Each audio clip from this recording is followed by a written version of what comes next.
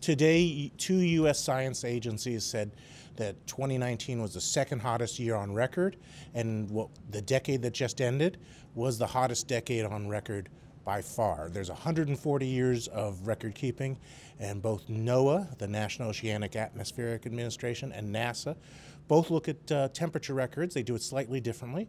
They both came to the same conclusion second hottest year on record, hottest decade. You see, the Arctic was incredibly warm. They keep breaking records. Australia, where they're having these horrible fires, just had its hottest and its driest year on record. So if you look, sort of things are reddest at the top, sort of red at the bottom. They're sort of red everywhere with sort of uh, little blotches of blue here and there, and some blotches of just gray, which means normal. But we haven't had a normal so called 20th century average year since 1977. These charts showing global temperature with different ways of measuring it, different groups measuring it.